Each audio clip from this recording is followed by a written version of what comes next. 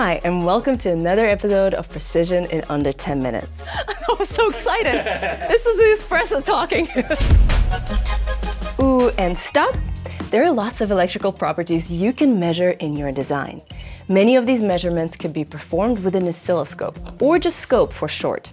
At the first glance, it seems intimidating, but actually it's easy to use. Let me show you how to use this handy instrument correctly in under 10 minutes. My name is Masha and today I will show you how to use an oscilloscope and what you need to pay attention to in order to measure accurately. Oscilloscopes are widely used in electrical design, testing, and troubleshooting. Most modern oscilloscopes not only display signal voltages over time, but have many additional analysis functions. For example, performing automated measurements such as peak-to-peak -peak or RMS voltage, measuring the period or frequency of a waveform. They can also display 16 digital channels, decode and debug serial bus information, and even display frequency domain information similar to a spectrum analyzer. As promised, let me show you how easy it is to use a Rohde & Schwarz oscilloscope. I'll start by showing you the best way to display captured signals. As you can see on the right-hand side of the instrument, there are lots of different knobs and buttons that are grouped in various sections, such as vertical system, trigger, and horizontal system. Let's start with a vertical system, which sets the scale for displaying waveform voltage. When configuring the vertical system, it is important to remember to maximize the display of the waveform on the screen. Look what happens when I adjust the voltage per div setting. The higher the voltage per div is selected, the smaller the representation of the waveform. Use the position knob to move the waveform up and down on the screen. To make best use of the scope, you need to position the highest and lowest points on the waveform as close as possible to the top and the bottom of the screen without clipping the waveform. With maximum vertical scaling, it is easier to detect small details or defects in a waveform. Now let's move on to the next section, the horizontal system. This section allows you to vary the time axis, thereby controlling the duration or the amount of the waveform being displayed. By turning the horizontal knob, we can display, for example, one full period of the signal or many more. The time per division is displayed at the bottom of the screen. Once again, use the position knob to move the waveform left and right on the screen. The next most important setting is how to best optimize the waveform. This is done under the acquisition setting. All Rohde & Schwarz oscilloscopes are digital while waveforms are analog, so a main component is an analog to digital converter, ADC. This is responsible for sampling the waveform at a given rate, otherwise known as the sample rate. The higher the sampling rate, the greater the resolution of the analog to digital conversion, thus more details are visible in the waveform. These sampled values of the waveform are stored in the instrument's memory, which in the end is what we see on the display. You're probably wondering which sample rate to choose.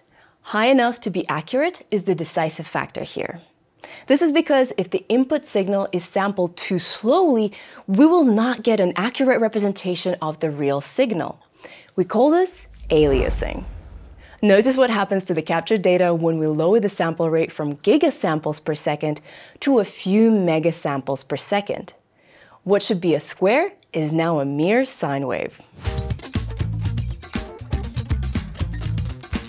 Another important setting on an oscilloscope is triggering. Trigger system is extremely important because it defines the conditions before the oscilloscope starts acquiring or sampling. Yes, I know, so many things are important, but it all sounds more complicated than it is. Look here, triggering can help with two different things. First, it allows you to stabilize acquiring a repeating or periodic signal by having each sweep start at a predetermined signal value, so the waveform is represented from the point on the screen. Secondly, it allows you to isolate certain signal events, such as individual pulses. So it is essential to set the trigger properly. Many problems with oscilloscope measurements are caused by incorrect trigger configuration. So let me show you various types of triggers. There are many different types of triggers. The most common trigger type is the edge trigger. The edge trigger starts acquisition when the threshold of a defined voltage is exceeded or undershot on either the rising edge or the falling edge of a waveform. Besides the types, we also have many trigger modes. The trigger mode determines how the scope behaves when the trigger requirement is not met.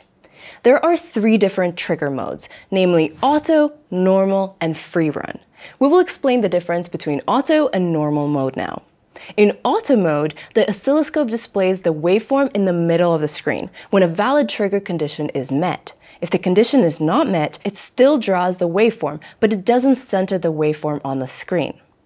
This is the default mode on any oscilloscope and is useful for you as it ensures that the display is never blank or the waveform is static. Auto mode is particularly useful when verifying if a signal is present and for adjusting the trigger settings. In normal mode, the oscilloscope captures and updates the display only when a defined trigger condition occurs. This means that all the defined conditions to trigger must be met. So if no valid trigger value occurs, no waveform is captured and the last captured waveform continues to be displayed. And if no waveform were previously acquired, nothing will be displayed. Here, too, it's important to emphasize how digital display systems on oscilloscopes simplify making measurements. Modern digital oscilloscopes offer many display and measurement functions, such as zooming into and out from a signal with cursors or markers to make manual measurements. In addition, a large number of automated functions such as peak value or peak-to-peak -peak voltage, frequency, rise and fall times, slew rate, crest factor, and a number of pulses are available. Wouldn't it actually be wonderful if the measurements could be quickly recorded before we take notes and read off the evaluation with pen and paper? Rohde & Schwarz has come up with something clever here. Taking notes directly on the touchscreen. Take a look. I hope I was able to show you how easy it is to use an oscilloscope. I would be interested to know, to what extent are you currently working with an oscilloscope and which measurements are you looking to perform? Do you have any questions or suggestions for other instruments you would like to get to know? Ask us in the comments down below and subscribe to our YouTube channel to never miss an episode of Precision in under 10 minutes. See you next time.